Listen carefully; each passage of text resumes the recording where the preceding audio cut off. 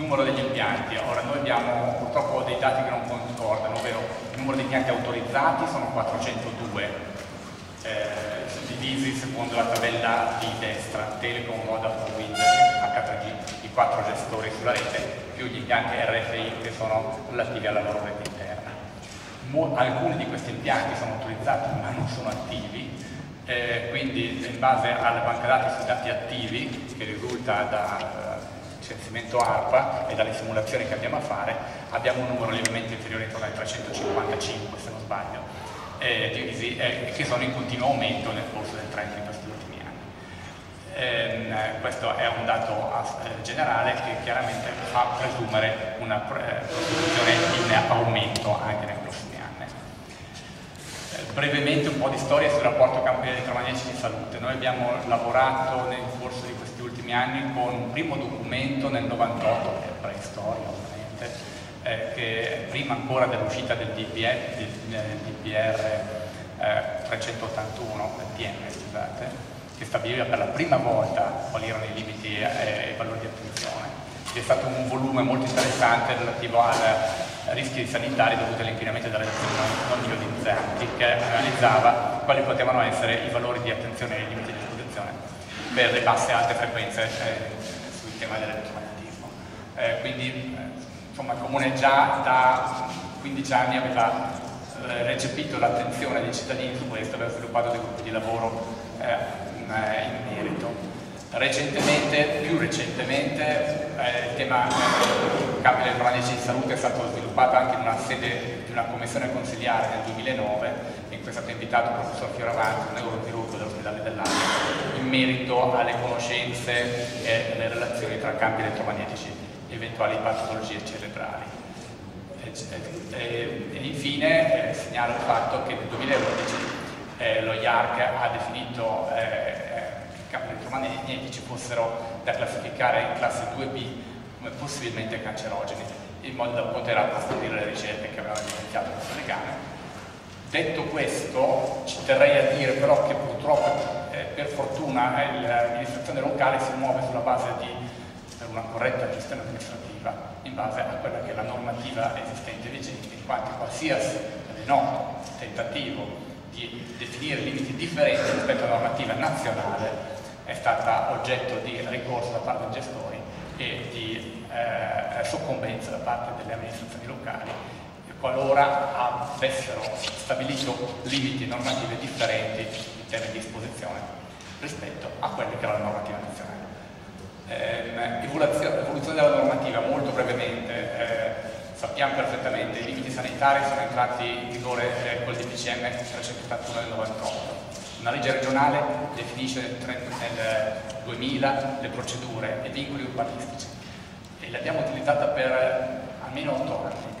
Eh, nonostante entrasse in vigore il decreto Gasparri che stabilisse delle procedure autorizzative a livello nazionale che erano più semplici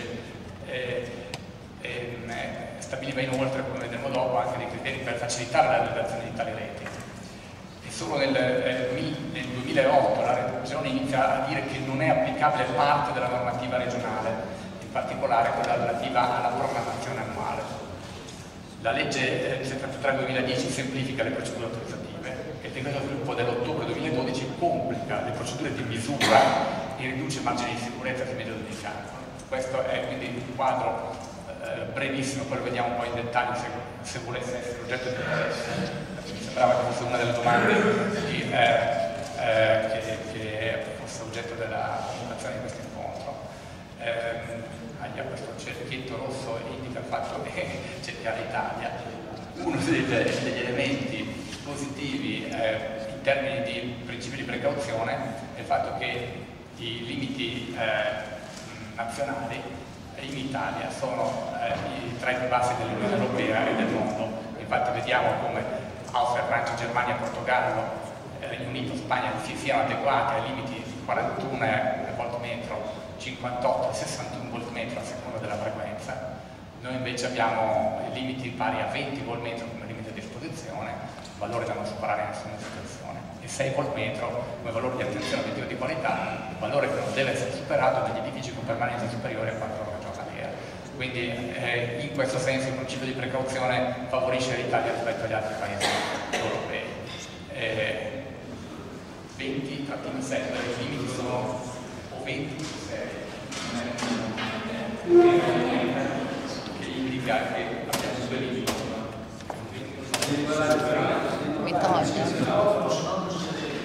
Comprendo È tutto spiegato nelle righe sopra. Eh, quindi se uno eh, ha ad esempio un torrino, un lastrico solare un coperto può arrivare a 20 volt metro, nel momento in cui si è all'ultimo piano di un edificio si deve rispettare i 6 volt metro. Eh, infatti ecco, cosa si fa? Ogni impianto è autorizzato in base a una simulazione elettromagnetica svolta da ARPA, se il campo elettromagnetico è, è, seconda, si sviluppa secondo le indicazioni della figura, eh, linea blu, rosso, gialla, eh, si va a fare le, le, stime numeriche di che cosa sono i valori stimati nei punti indicati dalla freccia rossa e verde, ovvero nei punti più sensibili, eh, all'interno dei due, primi 200 metri, ovvero laddove vi è la maggiore probabilità di eh, superamenti. Ehm, eh, tenendo conto della sommatoria di tutti gli effetti, di tutte le antenne presenti nella zona vicina lontana. Allora, sulla normativa, brevemente la legge regionale 30 stabiliva che eh, eh, i gestori dovessero presentare ai comuni il programma annuale, generalmente il 30 settembre di ogni anno, eh, il programma annuale aveva un percorso eh, eh, partecipato con la possibilità di esprimere osservazioni da parte eh, della cittadinanza e nell'autorizzazione bisognava tener conto anche delle, delle controdeduzioni sulle osservazioni presentate, un percorso eh, molto trasparente e con dei tempi eh, e delle articolazioni eh, ovviamente rilevanti. Eh, questo ci ha permesso infatti di lavorare molto in questa direzione. Ehm, inoltre la legge regionale stabilisce dei vincoli di divieto, eh, comma 1 dell'articolo 9, le ultime due righe, nelle aree destinate a attrezzature sanitarie e assistenziali scolastiche, nelle zone di parco, di parco non parco urbano, ma di parco eh, naturale, eh, nelle riserve naturali. Eh, passiamo invece alla normativa nazionale che, del decreto Gasparri che inizialmente era stato addirittura dichiarato incostituzionale, il 180 del 2002, poi il 259 del 2003 è il codice delle comunicazioni elettroniche, questo non prevede un piano annuale, prevede procedure di silenzio assenso, che poi sono state inserite anche in modifiche della legge 30, eh, prevede procedure semplificate in caso di potenze inferiori a 20 watt, non vi sono luoghi di divieto, sono possibili procedure espropriative da parte del soggetto concessionario e vi sono eh, significative limitazioni della proprietà per i soggetti serventi, eh, l'articolo 91-92 se non sbaglio,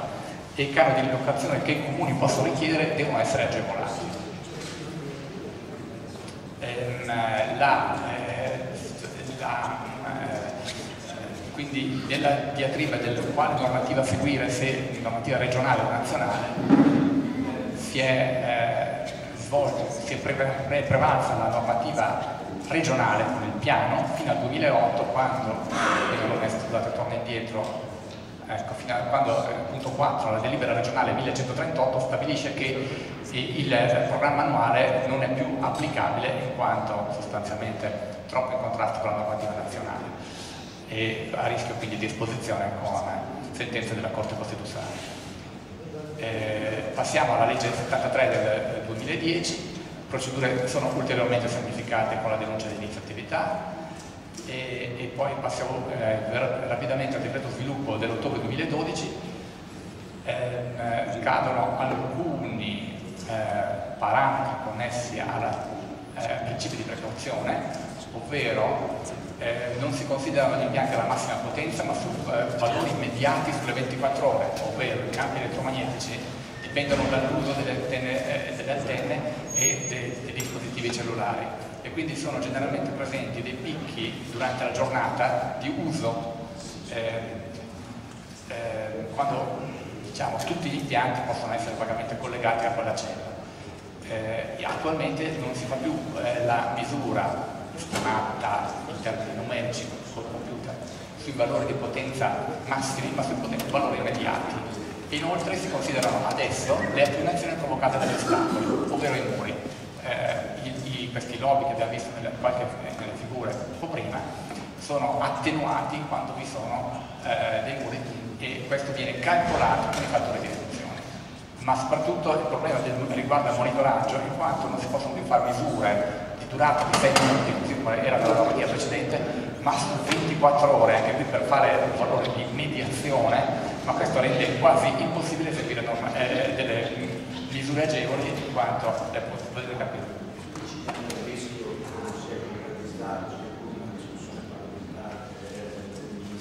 Infatti,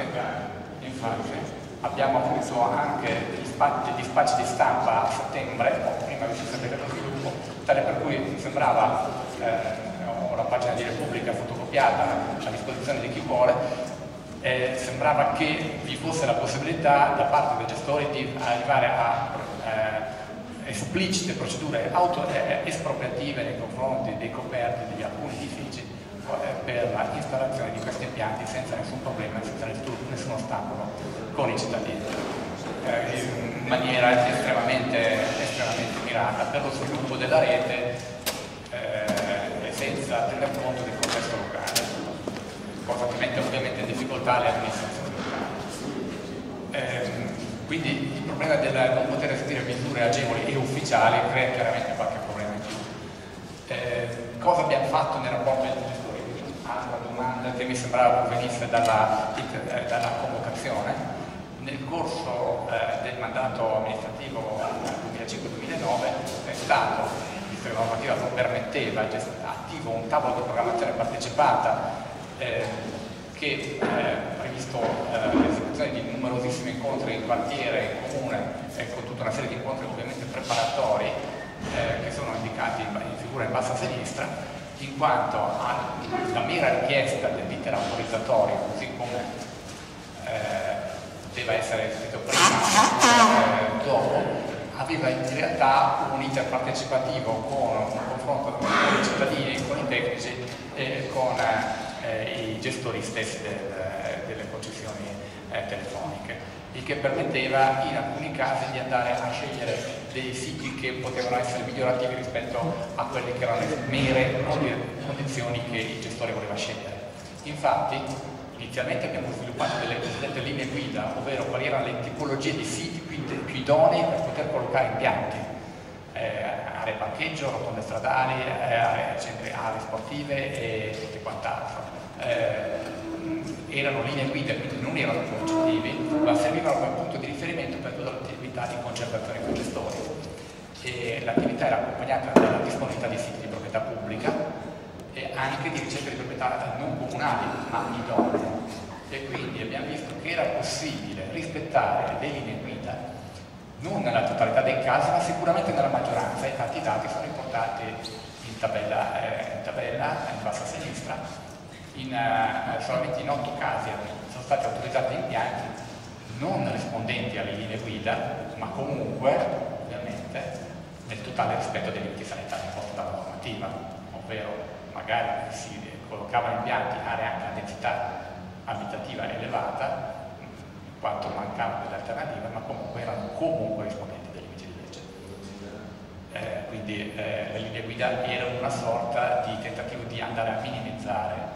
eh, alla fonte della scelta del sito quelle che erano le condizioni di esclusione. Eh, il tavolo è stato sospeso nel 2010 con una delibera, eh, attualmente la normativa non permette più i tempi di una concertazione con le modalità precedenti, ma in realtà i gestori sono interessati a una concertazione, infatti questa avviene in maniera informale tramite contanti, meri contanti con incontri tecnici. Ciò nonostante vi sono stati anche incontri eh, con la cittadinanza sia per gli impianti di via Portonelli e Borgo Panigale nel 2011 che eh, quartiere Pilastro San Donato nel 2012 per nuovi impianti da realizzare e realizzati eh, laddove si sono sempre verificate delle alternative nel sito pubblico, in entrambi i casi nei siti pubblici, erano sempre migliorativi rispetto ai siti privati, in particolare per Portonelli il contrasto era una scelta tra un sito che era un impianto sportivo eh, oppure una scelta di una zona ad alta densità abitativa. Eh, il contenzioso comunque anche in questi casi nasce, eh, eh, questo è un elemento che non sempre va a favore di una minimizzazione, però ciò non toglie che sono elementi che vanno gestiti eh, con eh, tutto un percorso che si identifica caso per caso. Eh, quindi nonostante il tavolo ci sia il concertazione con i cittadini è comunque un percorso che, che è avvenuto nel corso di, di questi anni eh, esposizione reale, dati di monitoraggio, questi sono dati relativi al 2008-2009, una relazione ASPA che eh, abbiamo trovato sotto mano. Eh, per fortuna l'esposizione è comunque contenuta. Eh, tutti i dati di monitoraggio pari a 132 punti di misura ha fatto sì che per l'82% dei casi ci si trovasse al di sotto di e per la restante eh, percentuale al di sotto dei 3 volt metro quindi eh, per fortuna i fattori di, eh, di, eh, di stima e i metodi di stima sono dalla parte della sicurezza per le metodologie comunque utilizzate e ciò dà luogo a eh, margini di sicurezza e ulteriore minimizzazione degli effetti, infatti li vediamo ehm, con, eh, arrivando a misure per fortuna decisamente più contenute rispetto a quelle che sono le stime numeriche. Eh, perché allora quale possibile sviluppo nella scelta dei siti e nel rapporto con i gestori? Due temi, le aree, eh, le zone periferiche e le zone del centro storico, due percorsi diversi. Per le aree comunali e per le aree periferiche noi eh, teniamo opportuno eh, eh, sviluppare, abbiamo sviluppato uno studio di pianificazione che tra l'altro è disponibile qui assolutamente in borsa, è lavoro ufficializzato dove numerose aree comunali sono state identificate idonee, rispondenti alle linee guida, comunque sempre il nostro punto di riferimento iniziale, eh, come siti idonei a ospitare impianti di telefonia mobile, eh, anche se tali aree sono attualmente un numero eh, non sempre rispondente alle esigenze funzionali dei gestori stessi. E noi riteniamo importante fare proposte su siti comunali perché è un modo per minimizzare eh, anziché evitare che vi sia una scelta autonoma dei gestori per individuare gli siti. Per quanto riguarda il centro storico, entrano in, in barra dei vincoli di tipo architettonico rilevante e eh, la funzionalità della rete ha necessità di maggiore densità ha, eh, e quindi oh, eh, per, poi vedremo in dettaglio come poter fare per avere, eh, ridurre le visite paesaggistiche. Vediamo cosa abbiamo fatto per il centro storico. Questa ad esempio è una mappa di una parte del quartiere Savina con l'identificazione di tutti i siti individuati che non hanno, a nostro avviso, problemi di impatto elettromagnetico sulla popolazione. E quindi queste mappe vengono presentate ai gestori qualora nel loro piano industriale loro abbiano intenzione e interesse a, a eh, sviluppare un aumento della copertura in certe aree. Si può incontrare in questo modo la domanda e l'offerta, il concetto è eh, in aree eh, con questi due colori che sono un po' falsati abbiamo eh, da una parte vincoli di divieto e dall'altra parte le proprietà eh, comunali, quindi eh, le situazioni che sono le opportunità e, e i limiti e i condizionamenti. Eh, per quanto riguarda il centro storico, che cosa succede? Che i gestori devono mettersi in posizioni elevate rispetto a, al e questo fa sì che si creino delle criticità dal punto di vista paesaggistico che sono rilevanti e, e che vanno gestite. Eh, come gestirle? Eh, allora, i centri elettrici o si alzano grazie a delle paline, come vediamo in questi casi, oppure, a nostro avviso, come alternativa, devono inserire su edifici eh, in quote più eh, presenti che siano di quote elevate ma questo generalmente va a cozzare col fatto che sono edifici vincolati, sono edifici eh, che hanno, eh, sono soggetti a vincolo da parte della sovrintendenza e quindi l'iter eh, eh, autorizzativo è risultato complicato. Questa è la torre coronata grande in parte, dal 94 vi è un impianto Telecom eh, che eh, a detta di molti è sostanzialmente invisibile, infatti eh, sono, gli impianti sono inseriti nella, eh, nella, nella parte costituzionale della torre, vediamo questa indicazione in basso, eh, sono queste, queste, non so come si chiamarle, eh, questi eh,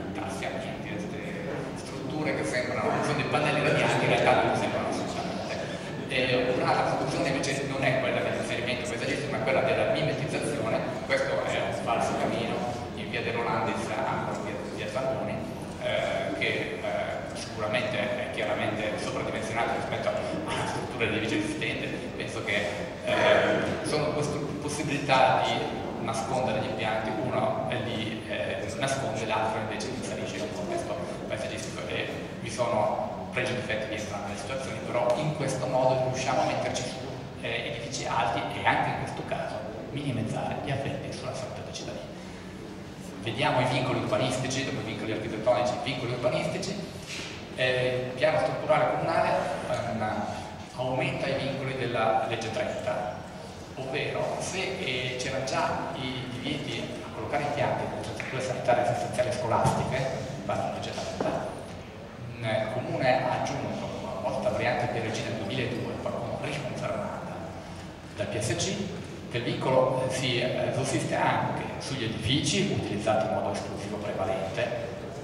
con attrezzature sanitarie in contingenza assistenziali scolastiche e in una fascia di rispetto del raggio di almeno 50 metri dal limite esterno degli edifici e delle aree di pertinenza. Ehm, quindi eh, questo buffer in realtà così come è scritto, con una delibera del febbraio 2011, eh, dei, eh, degli importi che sono in linea con i prezzi di mercato, indicati, eh, 14.000, 10.000, 10.500 euro a seconda delle casistiche, eh, ovvero un impianto 14, due impianti 12 x 2, oppure se c'è un unico gestore capofila eh, c'è nel caso a 3, quindi 10.500 x 2 casi lievemente differenti, eh, perché eh, ci siamo allineati al prezzo di mercato, perché altrimenti se abbiamo dei siti. Capisco nel nostro lavoro di eh, condivisione e partecipazione dei cittadini, che oggi avviene in termini diversi dal tavolo partecipato, perché comunque avviene puntualmente, siamo sempre accompagnati da ATA e da ASL, non solo, ma negli anni scorsi, poi visto diciamo, i limiti di bilancio questa cosa avevamo una convenzione con ARPA che si vedeva disponibile a fare quasi caseggiato per caseggiato delle verifiche puntuali che dimostrassero ovviamente l'impatto, quindi il fatto che questi impianti stessero ampiamente, come è stato eh, detto, sotto i limiti. La seconda cosa che è bene eh,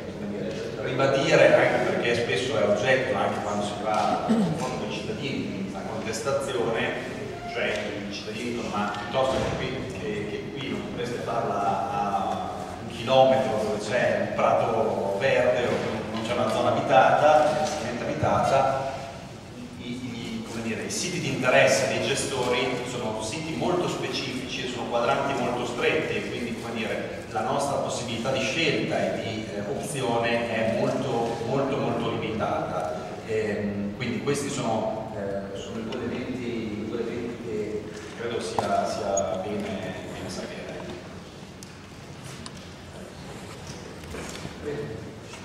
Chiedo chi, degli invitati, chi ha, eh, chi vuole prima dare la parola ai consiglieri. Volevo proporre ai colleghi se potevo intervenire per prima perché parlerei il problema di tipo sanitario e gli altri sono tutti commenti diciamo, che vengono insieme agli altri perché io sono d'accordissimo anche perché c'è una serie di persone che di poter coinvoltare e altre sbagliano. Quindi cominciamo ora. Bene, dottoressa, prego.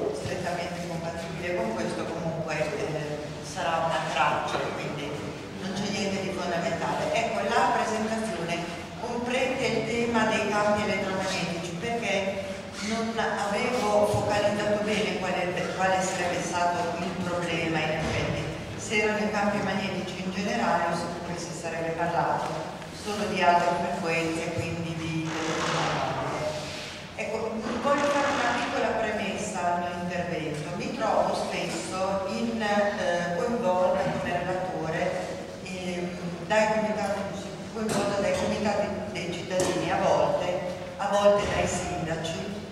e,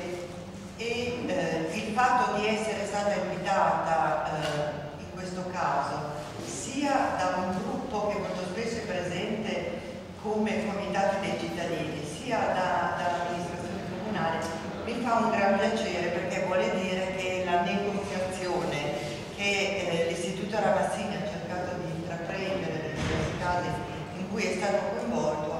portato a buoni frutti. Un'altra osservazione che voglio fare è quella relativa alla impotenza totale in cui io vedo trovarsi le amministrazioni locali oggi. Eh, questo per la telefonia mobile, ma eh, anche per altri temi quali gli impianti a biogas piuttosto che le biomasse, piuttosto che altri tipi eh, tecnologie che piovono nel territorio e, e che in effetti non, non riescono ad essere contrastate. Questo è un problema molto molto grave da, dal mio punto di vista di democrazia, non solo di salute. Quindi eh, sono ben felice di essere qui in questo momento a portare questo messaggio. Ecco, eh, io abito in una piccola cittadina appena fuori Bologna, ci sono negozi di fornaio, macellaio, eh, pasticcere, bar, tipico paese della bassa bolognese. Poi c'è un negozio di telefonia. Quando il sabato mattina vado a fare la spesa, in questo periodo di crisi trovo i negozi quasi vuoti, là dove si compra il cibo, e trovo la fila che esce dalla porta dal negozio di telefonia. Quindi noi dobbiamo prima di tutto riflettere sul fatto che noi cerchiamo di contrastare le scelte del più grosso potere economico al momento presente nella nostra società. Ha sicuramente superato quello dell'industria del petrolio, ha sicuramente superato l'industria farmaceutica, che sono stati i maggiori business, cioè la malattia, non la salute, perché l'industria farmaceutica agisce sulla malattia. La malattia e l'automobile sono stati i nostri, se noi dovessimo in qualche modo dire questa è l'età del ferro piuttosto che del rame, noi dovremmo dire questa è stata l'era del petrolio, dell'industria dell'automobile e dell'industria del malato. Oggi è anche l'industria del telefono ed è un'industria fortissima, tanto più. Se noi pensiamo che questo tipo di industria agisce sulle teste, quindi crea attraverso la comunicazione un gregge e questo gregge è difficilmente amministrabile, è molto più difficile da amministrare di quanto non sia la mobilità o gli ospedali, perché agisce direttamente sulle teste. Una delle raccomandazioni che io faccio all'inizio, poi vi darò finalmente i dati, è quello di agire sulle scuole. Noi abbiamo iniziato da 4-5 anni un'attività di, di informazione, di conoscenza all'interno delle scuole. Se non altro per portare dei messaggi come quello che vi ho dato, cioè dire ragazzi attenzione, non crediate di essere emancipati perché avete l'ultima generazione dell'Apple, l'emancipazione è altro. Eh, e poi c'è la vostra salute, quindi tutti i consigli su come usarlo, su come collegarsi, su quali sono i metodi per essere meno esposti. E abbiamo visto che funziona. Eh, purtroppo sono tornata ieri sera dall'estero, non ho avuto tempo di passare all'istituto, volevo portarvi dei manifesti che abbiamo preparato per le scuole e che quando andiamo a fare lezione, passatemi il termine lezione, eh, portiamo nelle scuole. Ecco, io credo che una delle azioni che nella vostra impotenza di amministratori potete però fare è quella di agire sugli individui cominciando proprio dai ragazzini, perché purtroppo ci sono genitori che regalano il telefonino a bambini di 5-6 anni. E qui ho finito, adesso mi scuso, salterò qualche diapositiva, voglio solo farvi vedere questa. Questa è la mortalità per tumori a Bologna provincia a partire dalla fine degli anni 50 fino ad oggi. Il registro tumori di Bologna provincia era tenuto dall'istituto Adare questo pallone, poi avevamo perso la possibilità di continuare a seguire, aveva iniziato l'ASL di Bologna però dalla fine degli anni 90 e a, a, tramite una convenzione abbiamo dato, diciamo regalato all'ASL di Bologna tutti i dati che avevamo raccolto per cui noi al momento siamo in grado di eh, misurare, di rilevare qual è stata la mortalità per c'è un aumento forte a partire dalla fine degli anni 50 fino alla metà degli anni 90 e eh, questo aumento forte è sicuramente, vedete, più nei maschi che nelle femmine, collegato ad esposizioni lavorative, cioè all'industrializzazione, quindi la mancanza di protezione per i lavoratori e quindi l'insorgenza di patologie soprattutto determinate dall'occupazione. Dalla fine degli anni 90 in poi c'è un calo della mortalità, ma badate bene, l'incidenza invece è in aumento, cioè il numero di casi ogni anno è un aumento di un punto percentuale all'anno. Il calo della mortalità è tutto dovuto ad azioni di prevenzione secondaria, cioè alla diagnosi precoce e al successo anche di qualche terapia su alcuni tipi di tumore particolari, ma in particolare al fatto che i tumori tramite i grandi progressi della diagnostica per immagini che riescono a rilevare tumori di piccolissime dimensioni, una volta estirpati guariscono completamente quindi c'è un calo della mortalità. Nella nostra provincia, nella nostra regione, questo deve essere una misura di come si è lavorato bene, perché se non ci fosse stata prevenzione, se non ci fossero state politiche di prevenzione, questo risultato non ci sarebbe. In altre regioni questo risultato non c'è. Infatti mi dispiace molto che l'ASL di Bologna, dopo due anni da questo dono, non abbia ancora presentato pubblicamente. Non perché sono dei ragazzini, ma come cittadina bolognese mi farebbe un gran piacere far vedere che i nostri amministratori hanno governato bene la salute e quindi lancio questo appello, siamo a disposizione per venire insieme al dottor Francia e al suo gruppo a presentare questi bei risultati che non riguardano solo i tumori, ma eh, gli incidenti stradali, gli incidenti domestici, cioè tutte le cause di morte. Come può un amministratore amministrare bene se non sa come muore la gente che governa? Non può amministrare bene, sa quanti ne nascono e non sa quanti ne muoiono, come muoiono e perché muoiono fondo è la nostra vita che ha interesse nel società quindi questo è un dato secondo me molto rilevante. Altrettanto bene avete fatto voi amministratori a proposito delle malattie cardiovascolari che sono di tanto diminuite da non essere più a Bologna la prima causa di morte. I tumori superano le malattie cardiovascolari, quindi anche questo un dato molto interessante. Eh, Vado velocemente perché voglio lasciare il passo ai miei colleghi. Comunque ogni anno in Italia muoiono circa 150.000 persone per tumore. Pensate che nella seconda guerra mondiale i morti civili sono stati 130.000 in 5 anni. Quindi il cancro fa in un anno più vittime di quanto abbia fatto una guerra mondiale. Questo è un dato da tenere presente è stata una mia curiosità, volevo rendermi conto dell'ampiezza del disastro, quindi sono andata a cercare un numero che fosse eventualmente simile e questo è veramente qualcosa di impressionante. Altrettanto lo è per i bambini, perché mentre l'incidenza, come vedete, aumenta e aumenta quasi di due punti all'anno, percentuale sul tasso standardizzato, la mortalità, poiché molti linfomi e leucemie sono i tumori più frequenti nei bambini, sono controllabili, quindi la mortalità è in, in decremento, l'incidenza invece è in aumento. Non possiamo più parlare di occupazione, non possiamo più, come negli anni 90, dire che quei morti in più sono correlati a situazioni espositive lavorative come è successo per gli uomini che sono dagli anni 50 alla fine degli anni 90. No, ci troviamo di fronte ad una situazione in cui la maggior parte dei tumori non sono correlati ad esposizioni lavorative, ma piuttosto ad esposizioni ambientali. Eh, vado anche qui abbastanza velocemente, situazioni ambientali, e qui si è proprio scombinato tutto, che eh, possiamo definire in questo modo Perché vi faccio questa piccola lezioncina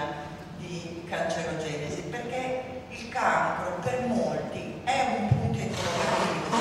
Sono pochi che hanno capito bene che razza di malattia è, perché non c'è un vaccino, perché non c'è una pillola magica, perché?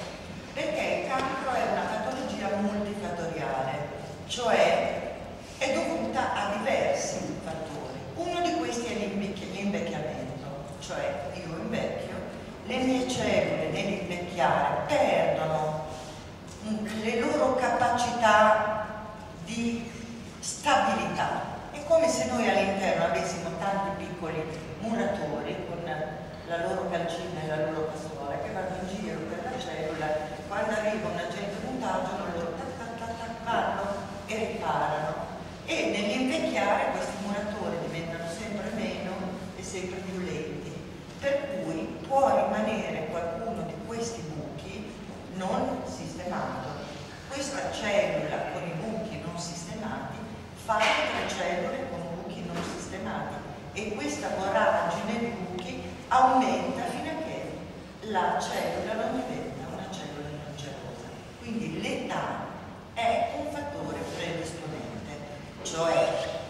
se tutti noi vivessimo fino a 120 anni probabilmente moriremmo tutti per, a causa dei tumori. Poi ci sono fattori genetici, badate bene, non ereditarietà, che è tutta un'altra cosa, ma predisposizione, cioè predisposizione a farsi fare i buchi,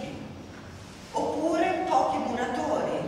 cioè una tipologia genetica che è predisponente rispetto a questa malattia. Ma tutto questo ha bisogno di un fattore scatenante che è l'esposizione a sostanze cancerogene. Cioè se non c'è nessun agente che va a fare bucanini dentro le cellule, la cellula se ne sta bella tranquilla anche se è predisposta. Ma quando intervengono fattori esterni, la cellula si abitua. E oggi quello che si sa negli ultimi dieci anni è che se questi agenti esterni intervengono quando l'organismo si sta sviluppando, cioè durante la vita embrionale o nella giovanissima età, la possibilità di creare danni aumenta in maniera esponenziale. Quindi di tutti i cittadini, quelli più a rischio madri in gravidanza per il bambino che hanno, che hanno nel loro ventre e eh, piccoli, per bambini fino ai 14, 15, 16 anni. Per dirvi di chi dovete avere premura, quali sono i cittadini di cui ave- dovete avere maggiore premura. Per semplificare quello che vi ho detto faccio sempre l'esempio della favola dei tre porcellini, è banalissima, mi scuso con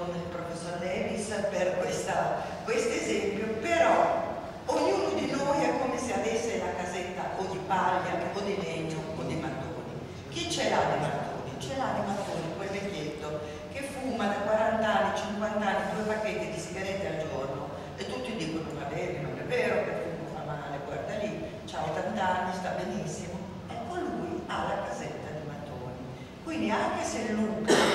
cioè il benzene che è nella sigaretta, cioè catrame, soffia, soffia, soffia, poco, perché non sappiamo com'è la sua casetta. ecco, e quindi... eh, Beh, sono venuta perché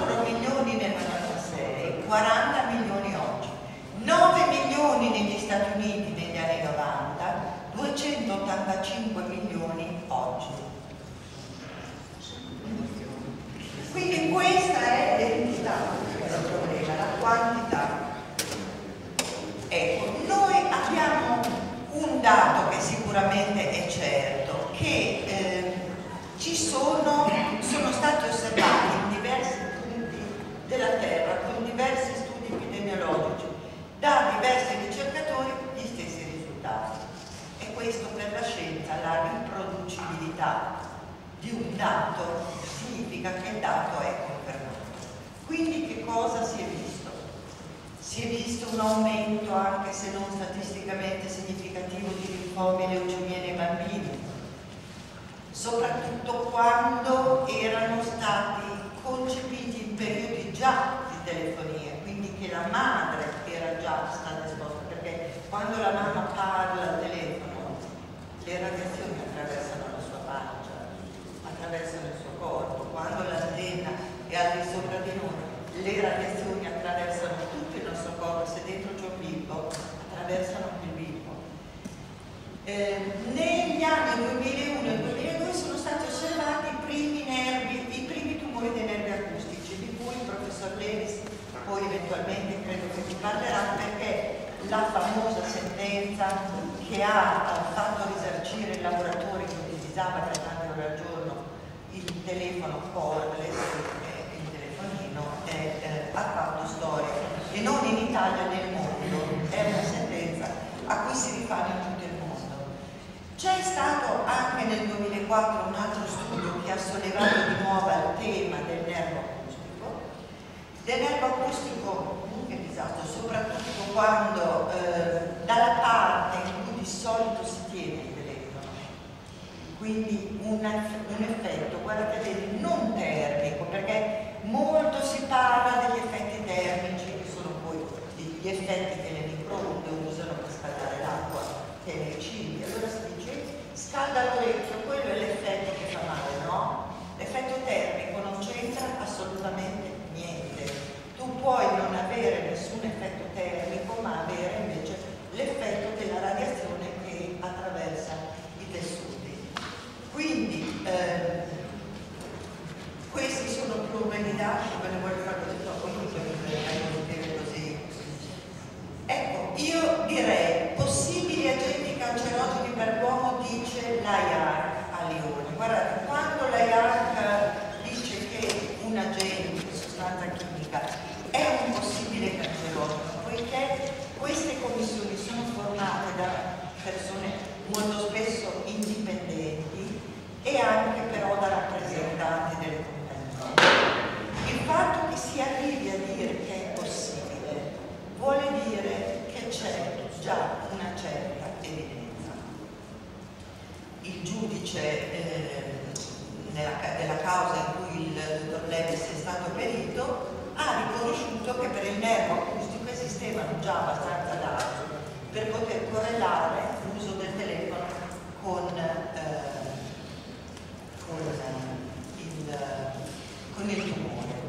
Ecco, anche il wifi vi ho voluto mettere perché di questo non si sa molto in effetti, però si è studiato a livello epidemiologico che le persone che vengono eh, esposte tutta la giornata o in ambiente perché ce l'hanno a casa propria, è molto diffuso oggi avere eh, una linea cordless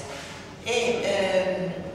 il 3% della popolazione ha disturbi di questo tipo, cioè disturbi del sonno, nausea, disturbi della vista, dell'udito, stordimento, quindi sempre un po' il sistema nervoso perché il cervello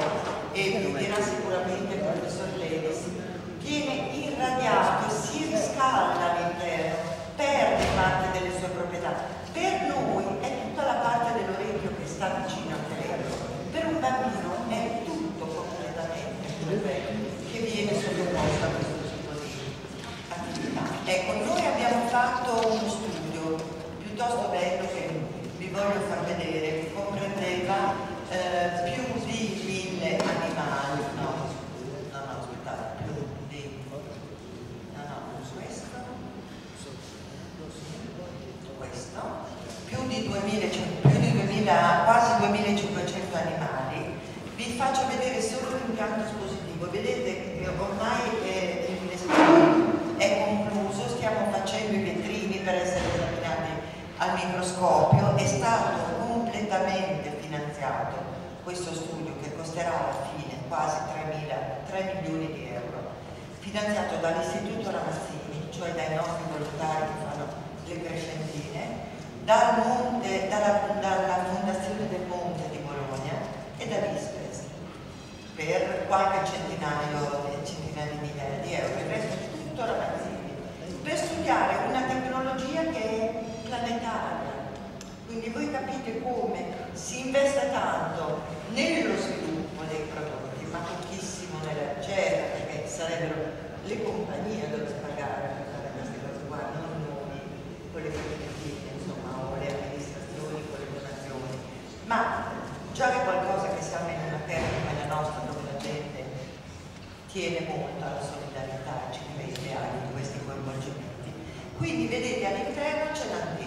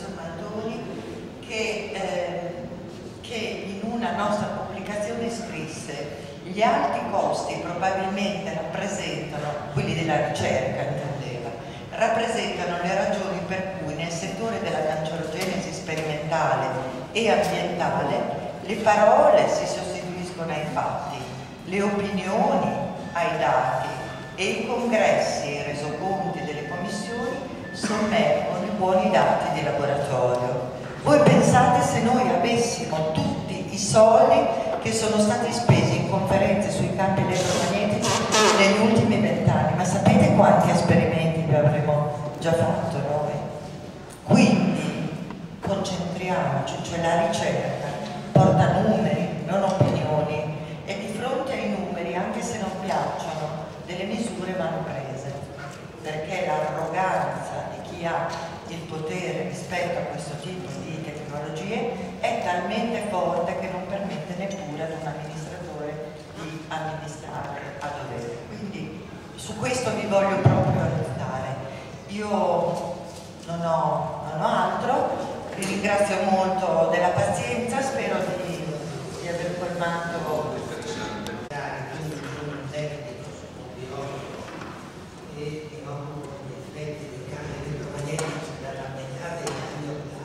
microfono. Assieme a collega di Pisa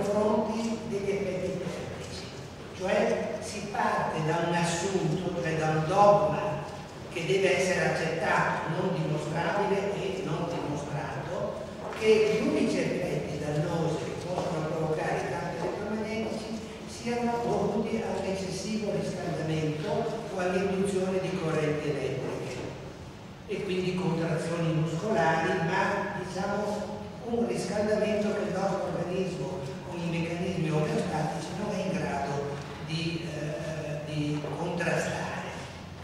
Eh, questi limiti, vi ripeto, sono immutati dall'84 e sono stati stabiliti in questa maniera che voglio indicarvi,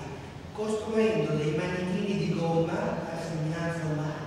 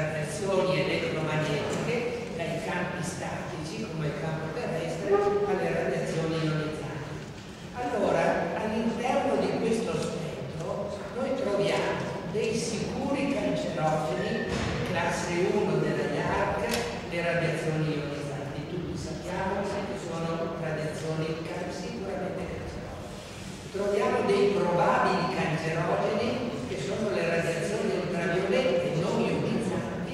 ma sono parte dello spettro che sono gli ultravioletti nelle loro varie componenti. Troviamo le bassissime frequenze, come è stato fatto vedere prima da Fiorella, dichiarati possibili cancerogeni nel 2001-2002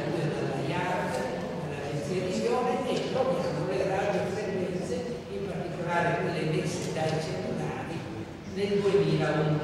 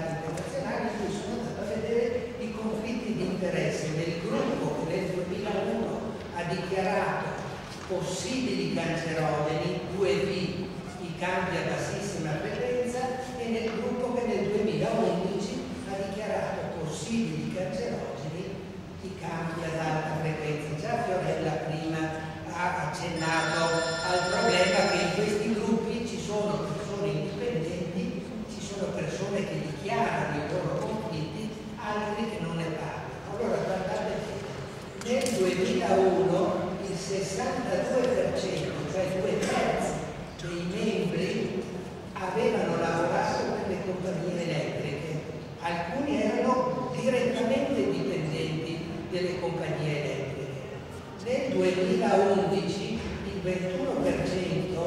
dei partecipanti hanno dichiarato di avere conflitti di interesse. Ma se voi andate a vedere con chi avevano pubblicato tutti gli altri, trovate che ben più dei due terzi avevano avuto rapporti finanziari con le compagnie di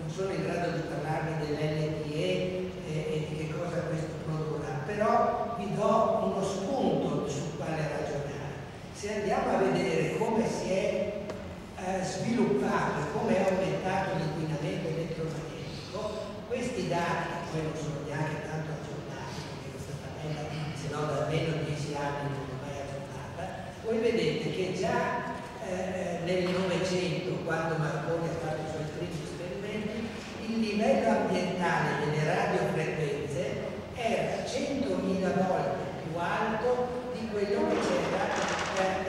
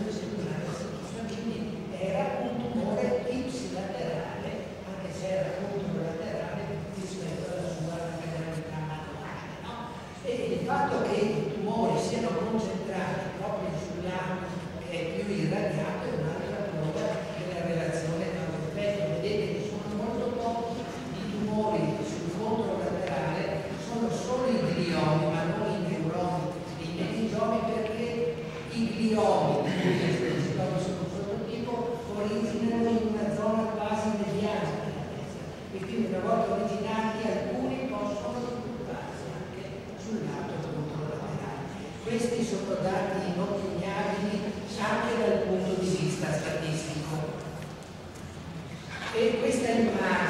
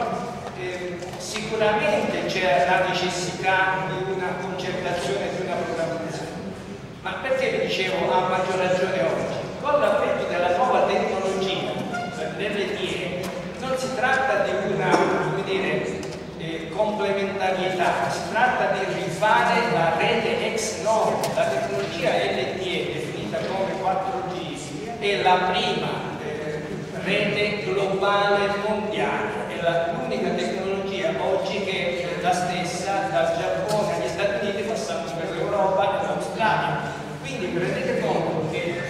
la fase di implementazione dell'ETE prevede una riprogrammazione del territorio ex novo, quindi non stiamo parlando di rifinitura. E lo testimoniano per esempio le 70 richieste, io credo che siano poche, 70 richieste che sono arrivate nel 2012 e eh, alla luce di questa implementazione, alla luce delle caratteristiche della nuova tecnologia, di cui se volete vi eh, presento qualche caratteristica, eh, attua una controtendenza rispetto a quelle del passato. Noi eh, del passato cosa è successo? È successo che la telefonia mobile è andata via via utilizzando frequenze più alte e che restringevano le aree di copertura. Aree di copertura significa andare a utilizzare piccole potenze, quindi l'ETAX ormai per fortuna non più concessionario è dismesso, ma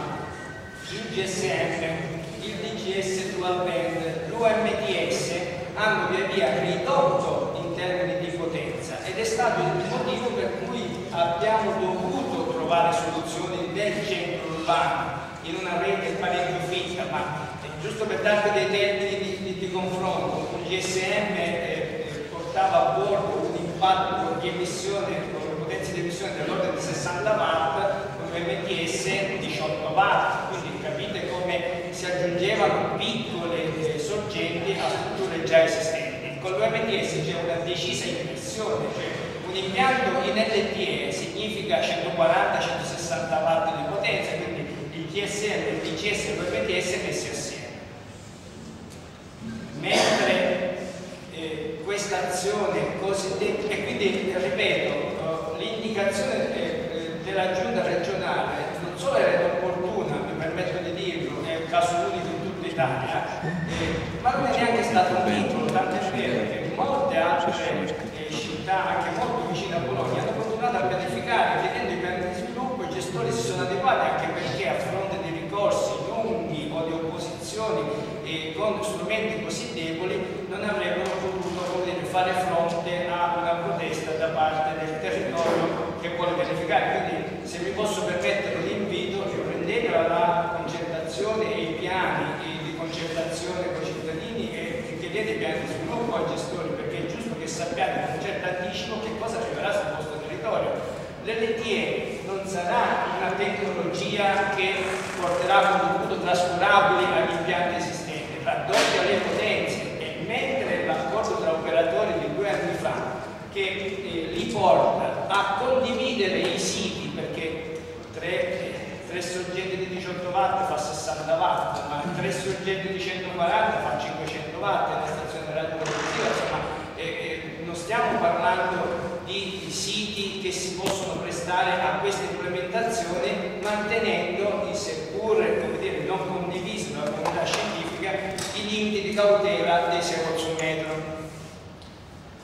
questa affermazione trova rafforzamento nell'ultimo intervento fatto con l'agente digitale, come è stato ben spiegato prima, che di fatto prevede un innalzamento dei limiti di legge, anche se è stato scritto che non ci sarà innalzamento dei limiti di legge. Beh, sapete benissimo che la telefonia mobile funziona on demand, se io sto telefonando si attiva un,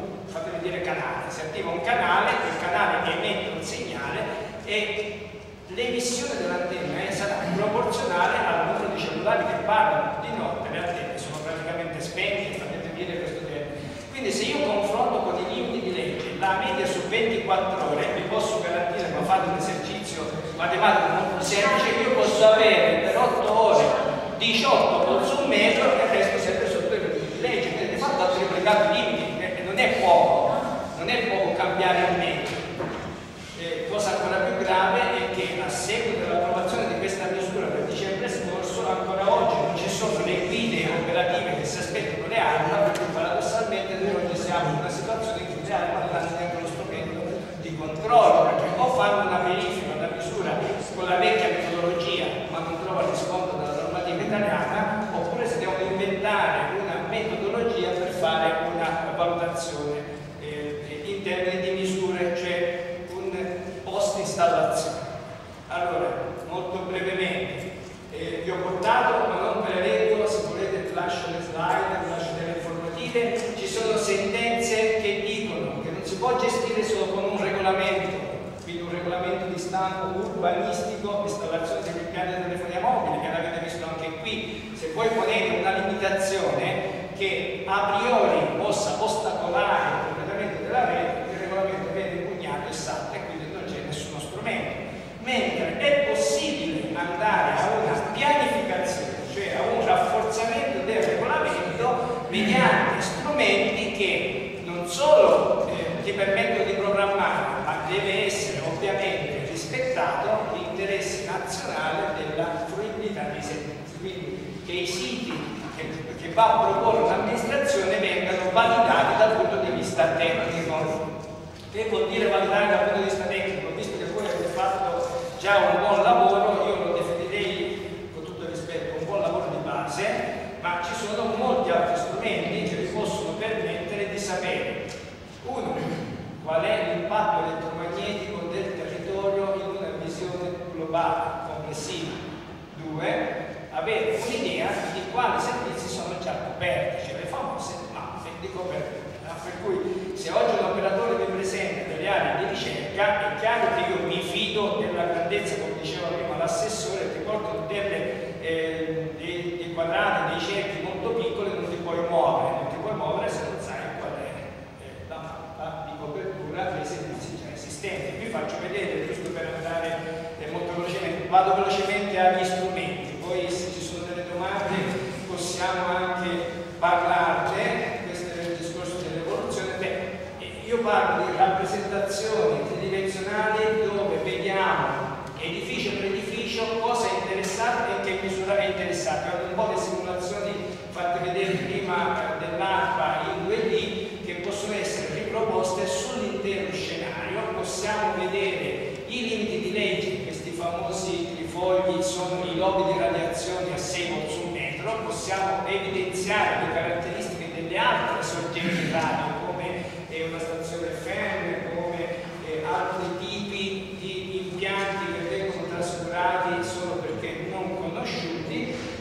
soprattutto si può andare a realizzare le famose mappe di copertura. Vi faccio vedere qualche altro disegno che è un pochino più esplicito. Ecco, vi dicevo, su uno scenario eh, territoriale, una volta simulato l'esistente, io posso già individuare quelli che sono i punti dove avviare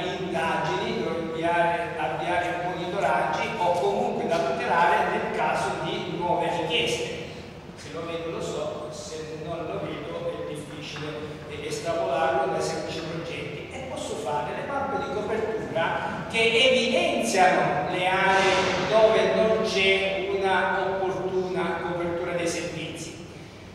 Su questo fatemi dire solo una parola. Eh,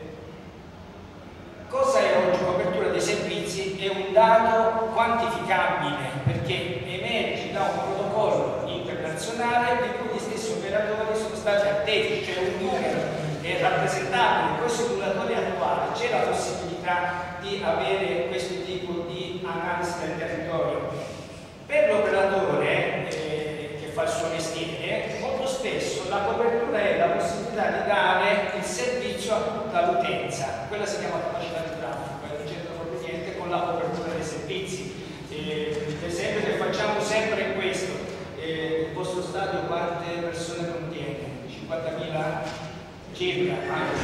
35, 35. 35, facciamo un esempio classico, stadio San Siro Meazza di Milano, 80.000 persone, non c'è nessuna rete, nessuna antenna che può veicolare contemporaneamente 80.000 telefonate. Possiamo dire che lo stadio San Siro con tutti gli impianti di microcelle per portare via il traffico non sia in zona di copertura? Non lo possiamo dire, è un caso estremo ma rappresenta la differenza tra cosa vuol dire essere coperto, cioè aspetti 10 secondi e parli, dall'avere la possibilità di fornire servizi contemporaneamente a tutta l'utenza utenza che diventa l'elemento stimolante dell'operatore, l'impianto arriva perché lì c'è il business, non perché pensa che ci sarà, è proprio l'utenza che chiama gli impianti. Quindi dicevo, da quelli che sono i vostri, i vostri strumenti, vi sentirei sinceramente di, eh, dire, di stimolarvi a continuare sia nell'azione di pianificazione. Eh, guardate che eh, la vostra legge regionale non è impostata male, mi permetto di dire questo perché ne conosco, conosco tutte le leggi regionali, ma eh, con poche modifiche e implementazioni che tengono conto delle esigenze mostrate dalla tecnologia, così come fatto altre due regioni, potrebbe essere non solo operativa, ma molto efficace come governo a supporto del governo del territorio. Eh, le coperture e gli impatti elettromagnetici che possono essere fatti non solo sull'esistente, ma anche su tutti gli impianti, sulle ipotesi di localizzazione, mi dicono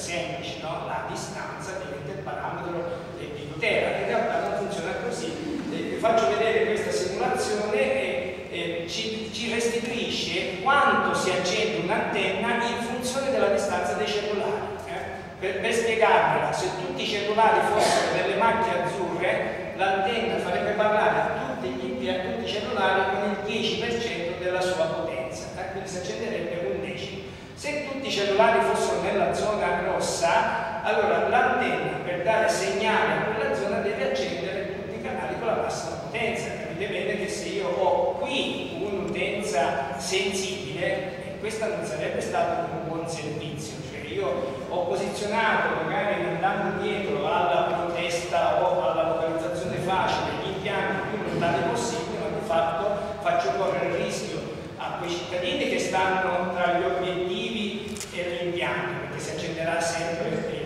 ma soprattutto avrò anche il cellulare che si accenderà nel più vedete questo invece quando emette il cellulare eh, in funzione della rete e ci restrisce anche i corridoi di buona conversazione. Cioè se io abito da queste parti e vado a lavorare qui eh, avrò un cellulare che caricherò una volta alla settimana e avrò un viaggiamento significativo in testa. Ma solo la disgrazia di vivere e lavorare da queste parti con questa rete particolare sempre con poche tacche, sempre molto potente e soprattutto stimolerò l'impianto a funzionare il più possibile. Quindi per le metto assieme su un'unica slide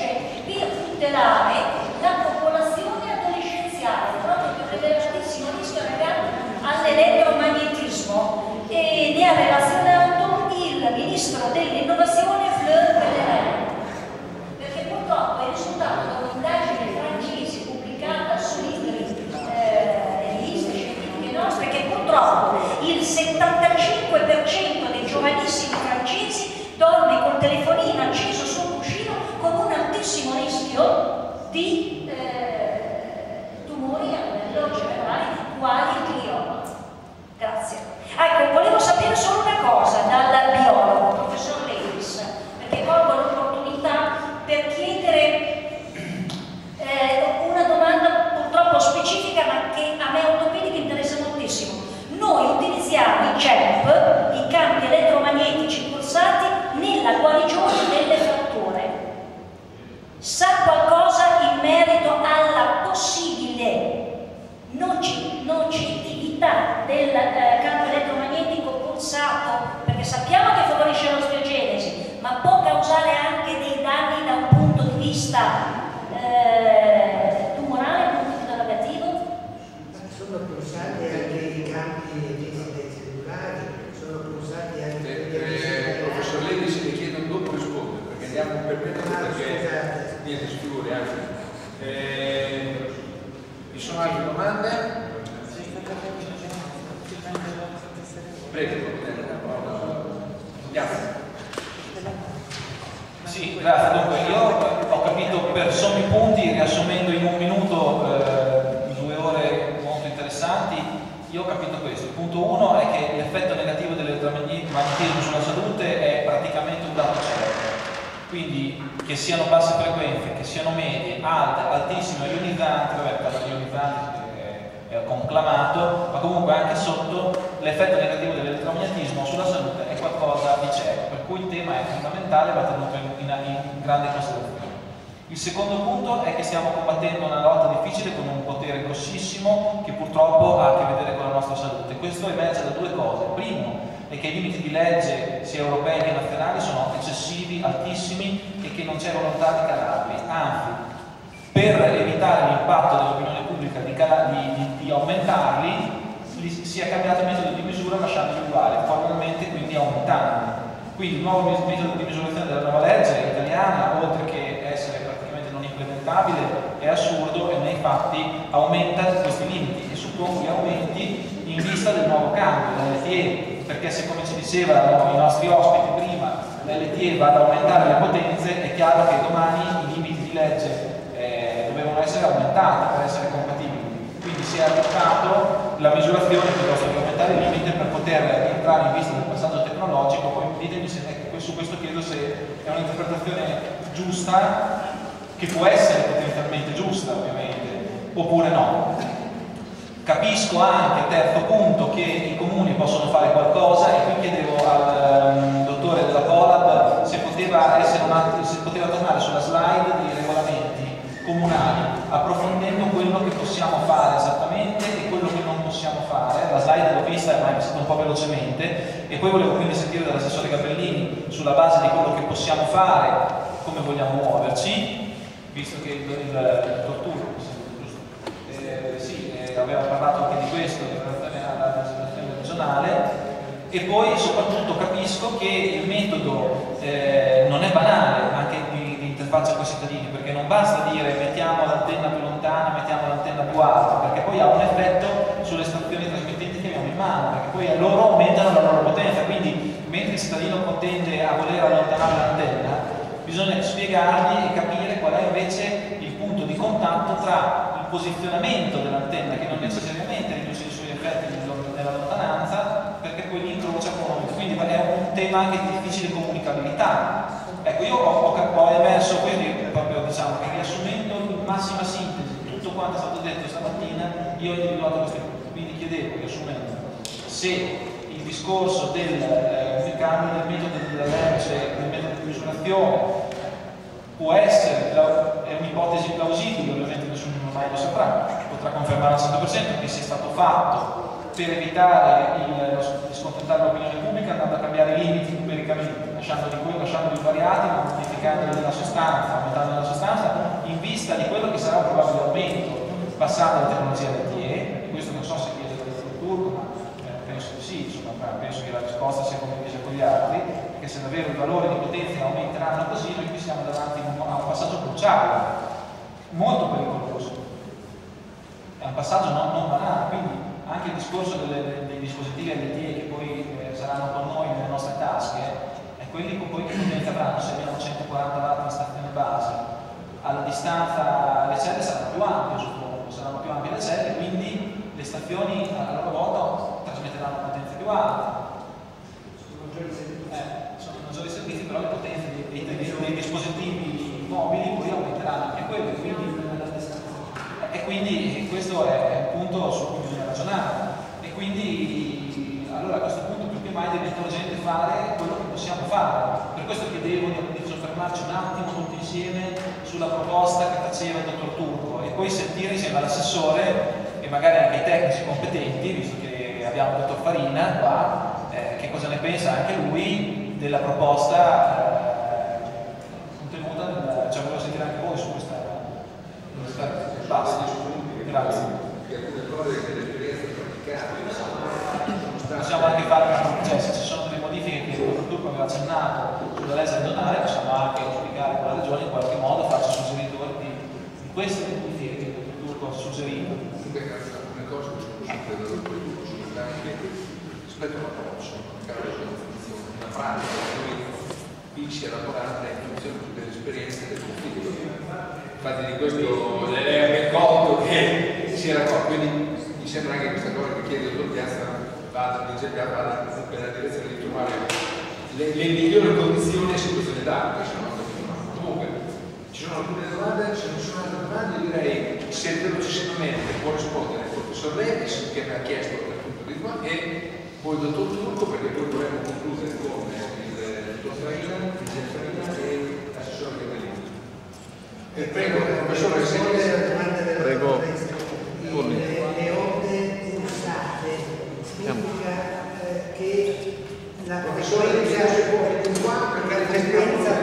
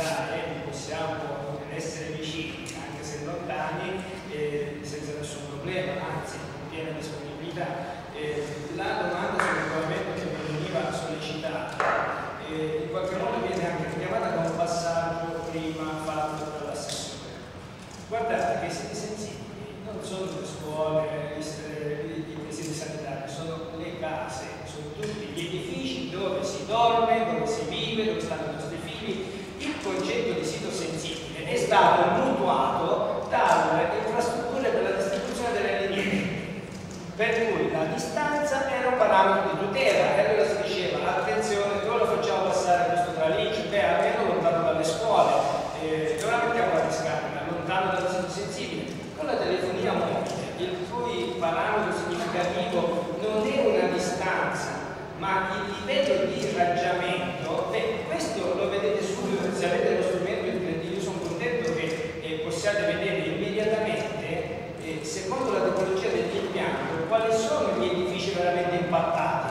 facciamo? Per dare il 0,3 a una scuola gli diamo 5,9 a un condominio, insomma sarebbe un delitto al contrario. Quindi anche il concetto di gestione del regolamento con le impostazioni che derivano eh, dire,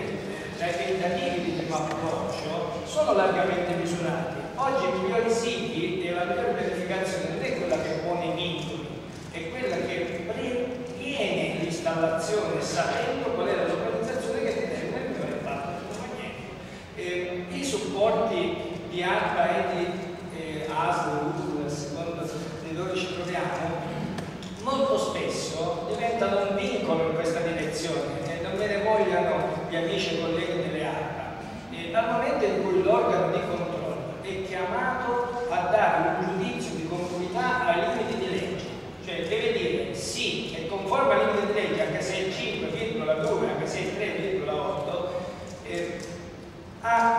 difficoltà molto spesso ad attuare quell'azione propositiva della soluzione alternativa, della soluzione che tiene conto non dell'aspetto prettamente tecnico, ma di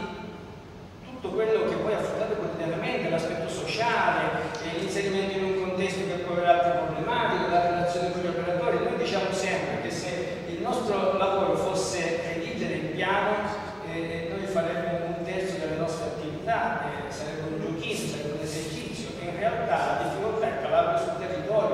fatto di persone, sensibilità, condomini, in relazione con gli enti locali, in relazione con l'assessore, con il consigliere comunale, cioè la vera difficoltà, ma lo vede perché è un problema che gestite, e che avete già gestito da tempo, è la relazione con il territorio, quindi eh, forse il vero gol alla fine non solo è soltanto trovare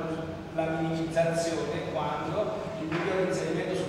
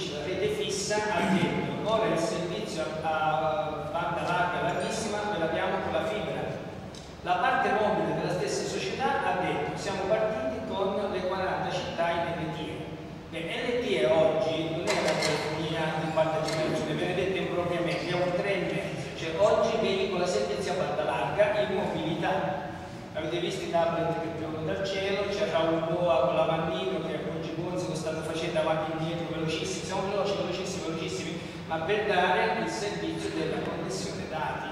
Quindi se lei mi dice oggi potremmo differenziare la connettività dalla comunicazione cellulare, c'è già la rete GSM che eh, fa, fa questo servizio, c'è una rete UMTS che è evoluta nell'LTE che fa il secondo servizio, l'alternativa si chiama fibra ottica, cioè vuol dire che se io mi trovo e all'interno di un'abitazione posso benissimo avere lo stesso servizio, anzi magari maggiore, senza bisogno di muovermi con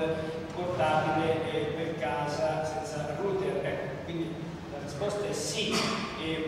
però c'è da dire quello che stavo dicendo prima. Tutte le tecnologie stanno evolvendo su un modello globale, ecco perché qui vale anche la seconda risposta. E dal mio punto di vista, eh,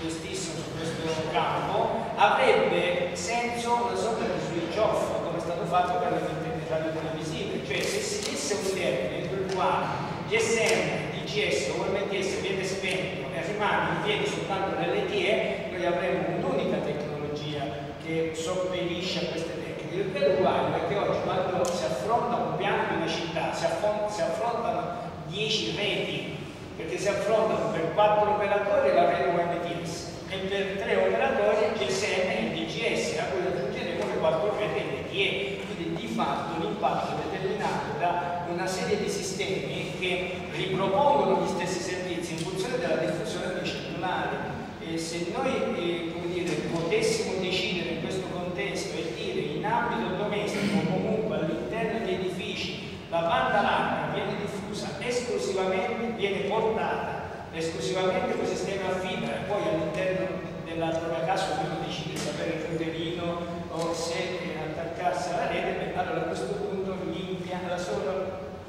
posizione degli impianti non sarebbe necessario. Bene. Eh. Brevissimo e chiaramente inizio ringraziando tutti dei suggerimenti dati perché per me questi sono. Eh, io eh, mi limito a dire eh, quello che, me, che, io mi aspetterei da una evoluzione normativa. Ah, per me eh, la legge quadro citata in questa slide, in questo bellissimo comma 8, sesto, articolo 8, lo ritengo assolutamente insufficiente, ovvero poter fare un regolamento è la classica concessione di una legge nazionale chiamata legge quadro sicuramente elettromagnetico che non dà in realtà nessuno strumento al comune. Allora è inutile dire che il comune può fare dei regolamenti se poi non ci sono degli strumenti operativi per, in quanto nella pianificazione delle reti i soggetti eh, sembrano tre, comune, proprietari e gestori, ma in realtà sono due, proprietari e gestori comuni, ogni volta che cercano di dire delle cose che fanno nelle reti, allora non possiamo realmente fare cose. Bisognerebbe riuscire a mettere a livello normativo al ritmo regionale, perché più, siamo più vicini con la regione, qui a Bologna, delle, dei possibili strumenti per cui il comune possa fare cose, interloquire sulla eh, regolazione di questo. Ad esempio, io posso dire che il regolatore, questo è un sito, ad esempio un sito privato, bene, o lo esproprio, oppure devo regolare il rapporto tra privato e concessionario, come almeno con un importo su un contratto di locazione, perché altrimenti io come posso dire tu vai a casa dell'altro sempre e eh, per i prossimi 50 anni con quel palo o l'edizione, qualora quello sia comunque scelto come sito migliore. Sono esempi, e potrei andare avanti però l'ora è tanta, per dire che bisognerebbe che il quadro normativo migliorasse molto in direzione e fare un piano è veramente difficile in quanto io per ogni delocalizzazione di impianti devo andare a regolare il rapporto tra soggetti privati in termini ad esempio di importo di locazione che non è mia competenza. Cosa che invece ad esempio la regione Piemonte ha fatto per gli impianti radiotelevisivi e c'è l'importo fissato per, i, eh, per quanto eh, eh, ci sono, sono gli impianti radiotelevisivi in area e sono cose che aiutano moltissimo anche per diminuire il contenzioso le regole sono quelle e invece qui chiaramente non devono diminuire i costi lavorare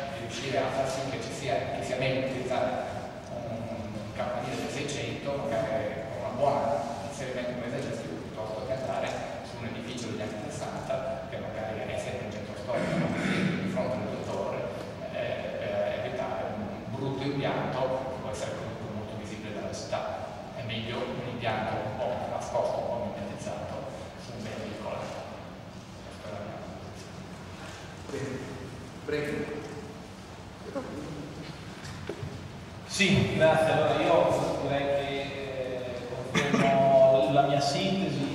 Oggi eh, abbiamo capito senza ombra di dubbio che una eh, correlazione non solo termica ma eh, ben più ampia tra le onde elettromagnetiche e il eh, corpo umano è mh, purtroppo per noi innegabile, che eh, i comuni hanno le mani parecchio legate non è banale la loro, la loro vita, che dobbiamo in qualche modo portare la, per quanto mi sono guardato con molta attenzione sia questa slide che quella precedente, capisco che in effetti le mani dei comuni sono abbastanza legate, che il problema è di difficile comunicabilità ai cittadini che pensano più lontano è meglio è, e invece non sempre è così, non sempre è così,